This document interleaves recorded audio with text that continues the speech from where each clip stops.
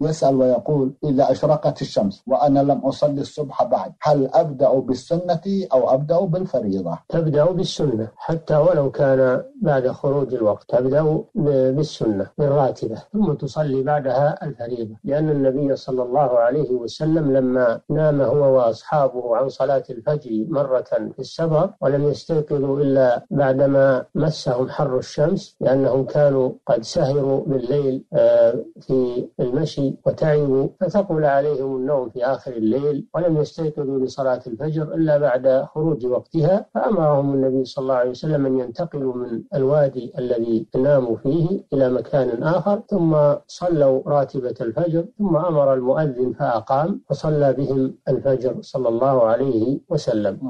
على أنه يجب التنبيه.